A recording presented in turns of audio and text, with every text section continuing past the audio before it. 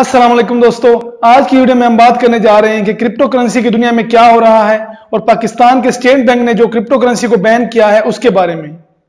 Crypto currency के बारे में अगर आपको नहीं पता तो ये एक फ्यूचर की करेंसी है, मुस्तकबिल में इस्तेमाल होने वाली करेंसी है, जिस पर बहुत ज़्यादा काम हो रहा है और एक बहुत ही बड़ी इंडस्ट्री है। और ये जो 2009 में पहली बार इंट्रोड्यूस हुआ था बिटकॉइन और उसके बाद दुनिया में तकरीबन 1560 के करीब जो क्रिप्टो करेंसीज है, वो इंट्रोड्यूस हो चुकी है और दिन ब दिन इनकी तादाद में इजाफा हो रहा है और बहुत सारे लोग इनमें इन्वेस्ट कर रहे हैं। और बड़ी बड़ी कंपनीज़ है जो फेसबुक का ऑनर है, जो एप्पल का ऑनर है ईबे अलीबाबा वगैरह, ये इंटरेस्टेड है इस इंडस्ट्री में और दुनिया के बड़े बड़े ब्रांड इसमें इन्वेस्ट कर चुके हैं। और अभी इसमें इन्वेस्ट करते जा रहे हैं और कुछ तो अपना ही आईसीओ और अपनी ही क्रिप्टो करेंसी इंट्रोड्यूस करने जा रहे हैं। और बहुत सारी कंट्रीज़ भी ये सोच रही है कि अपना जो एक क्रिप्टो करेंसी वो इंट्रोड्यूस करवाए। और ये आजकल का बहुत हॉट टॉपिक है। हर तरफ़ इसको लीगल करने के लिए बात की जा रही है। रिसेंटली जी ट्वेंटी कॉन्फ्रेंस हुई थी, जिसमें बड़े बड़े मुल्क के जो फाइनेंस से रिलेटेड लोग थे, इस कॉन्फ्रेंस में उन्होंने बात की थी क्रिप्टो करेंसी का फ्यूचर क्या होगा, इसको लीगल करना चाहिए कि नहीं करना चाहिए। और अभी जो उनका डिसीज़न आया है उसके मुताबिक बहुत सारी कंट्रीज़ इस बात से मुतफिक है कि क्रिप्टो करेंसी को लीगल किया जाए। और जुलाई में मजीद इसके बारे में जो रूल्स है और रेगुलेशन है, वो आएँगी।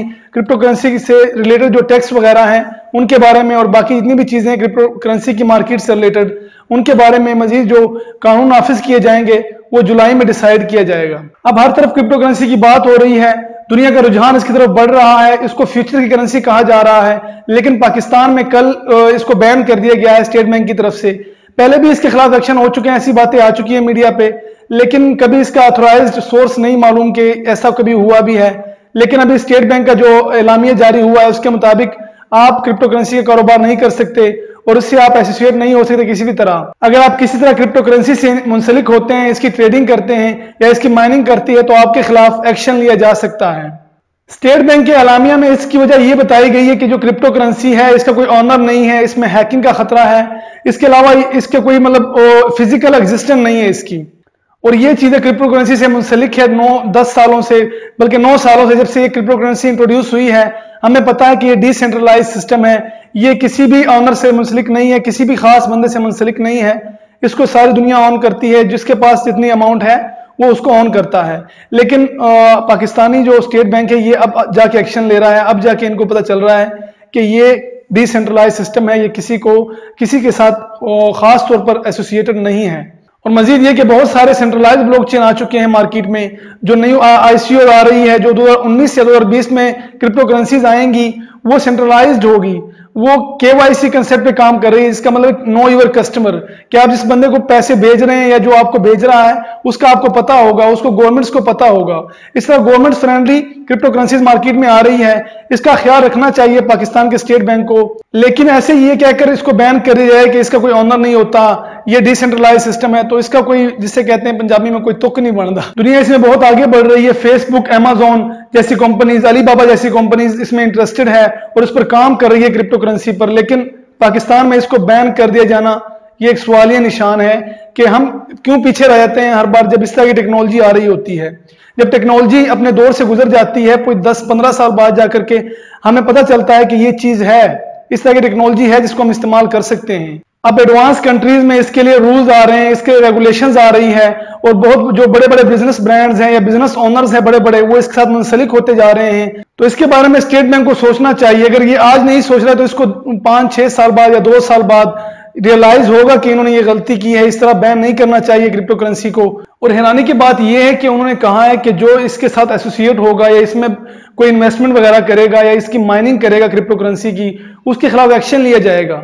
तो सवाल यह है कि एक्शन किस रूल के तहत लिया जाएगा? कौन सा कानून है क्रिप्टो करेंसी के तहत, जिसके तहत आपके खिलाफ एक्शन लिया जाएगा?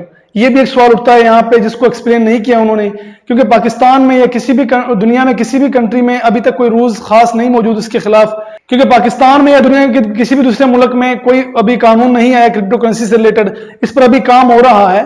और जो एडवांस कंट्रीज़ है, मैं पहले भी कह चुका हूँ कि इस पर काम कर रही है इसको लीगल करने के लिए, इसके कानून सामने लाने के लिए। और ताकि इसके, इससे जो एसोसिएटेड लोग हैं, जो बिलियनर बन रहे हैं, इसके साथ उनसे टैक्स भी लिया जा सके। बाकी इससे कोई खास फ़र्क नहीं पड़ता कि पाकिस्तान में क्रिप्टो करेंसी बैन हो गई है।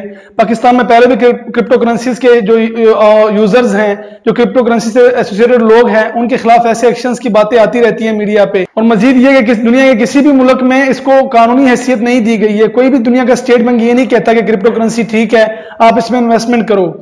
स्टेट बैंक ऑफ़ पाकिस्तान ने जस्ट अपनी जान छुड़ाई है, अपनी ज़िम्मेदारी से जान छुड़ाई है कि कल को कोई बंदा इसमें इन्वेस्ट करता है और कोई केस सामने आता है तो हमने पहले ही आपको कह दिया है कि इसमें इन्वेस्ट ना कीजिए।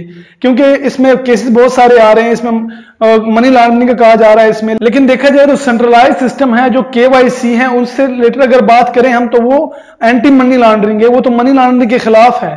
उसमें तो बंदे को पता चल जाता है कि किस बंदे ने ट्रांजेक्शन किए, किसको पैसे भेजे हैं। तो इन चीज़ों को सामने रखना चाहिए, इस पर मजीद रिसर्च करनी चाहिए स्टेट बैंक को। और वैसे भी क्रिप्टो करेंसी जो है, ये बैंकिंग सिस्टम के खिलाफ है। जितने भी बैंकिंग सिस्टम है, ये इसकी मुखालफत करते हैं। चाहे दुनिया की बाकी कंट्रीज़ में भी आप देख लें। पाकिस्तान वाहद कंट्री नहीं है जहाँ पर इसके खिलाफ बात हुई या इसको बैन करने के लिए बात की गई है।